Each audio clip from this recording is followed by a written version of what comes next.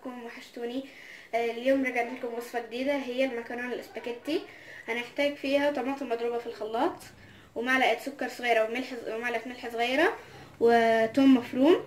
وهنحتاج المكرونة الاسباجيتي والفلفل الأسود هنحطه في الآخر وإحنا بنحط المكرونة عشان طعمه يفضل موجود في الأكل.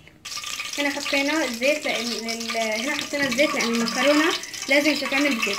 هنحط التوم لغاية ما عشان ياخد لون بعدين نحط عليه ال- الطماطم اللي في الخلاط والسكر والملح.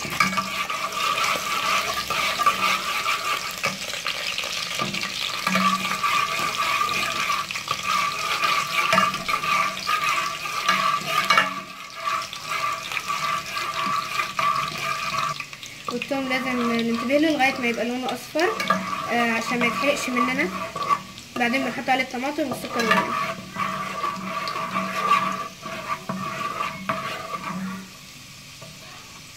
دلوقتي هنحط الطماطم.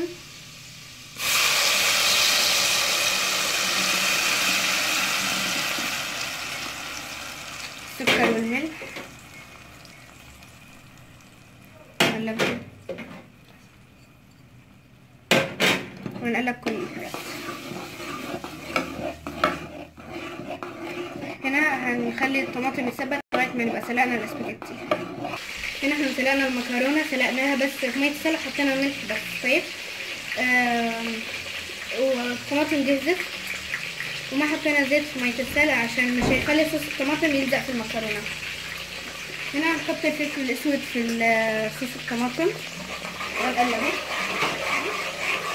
بعدين بنحط عليه المكرونة.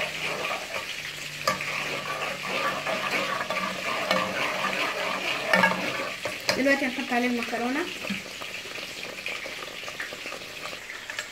هنا خلاص هنسيب المكرونة على مي هادية آه على نار هادية.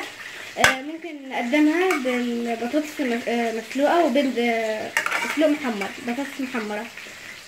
هنا خلاص هي جهزت آه بالهنا الشفا ان شاء الله تعجبكم هنقدمها مع بطاطس محمرة وبيض مسلوق محمر.